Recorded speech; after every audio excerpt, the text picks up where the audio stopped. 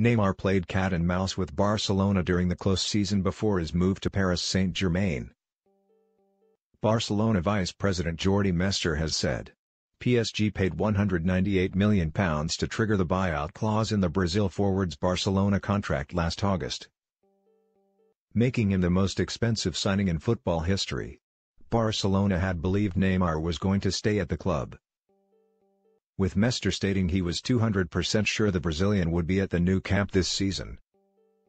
What hurt me the most was the way it happened, Mestre told newspaper Diario Sport in an interview. We were all on tour talking with him and his father, and they were not transparent. If he came to us and said, I want to go. Like Cesc, Fabregas, Pedro, Alexis, Sanchez, and, Javier, Mascherano did, we would have reached an agreement. What you can't do is rock the boat. He played cat and mouse with us. It arrived at a point where we saw where things were going so we told him we would not pay his contract renewal loyalty fee. Neymar and his representatives did not respond to a request for comment. Neymar renewed his deal with Barcelona in July 2016, which meant he was owed a £23 million renewal bonus.